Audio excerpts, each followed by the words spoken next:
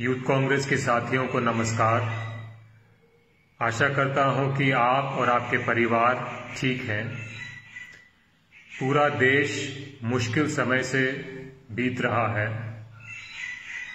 आप सबको पहले धन्यवाद देना चाहता हूँ कि आप इस मुश्किल समय में भी देश में जिन लोगों को मदद चाहिए, उनकी मदद जहाँ जहाँ आपसे हो पा रहा है, जितना हो पा रहा है, आप लोग कर रहे हो। इसके लिए दिल से धन्यवाद। मैं आपसे गुजारिश करना चाहता हूँ कि आप अपना ख्याल रखें, परिवार का ख्याल रखें, और साथ साथ अपने देशवासियों का, जहाँ हो सके, जितना हो सके, सेवा ज़रूर करें।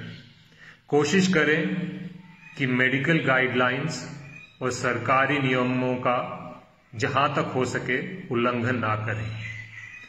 एक बार फिर, सारे हिंदुस्तान में हमारे साथी जो अपने देश के भाई बहनों का सेवा कर रहे हैं, उनके लिए दिल से धन्यवाद।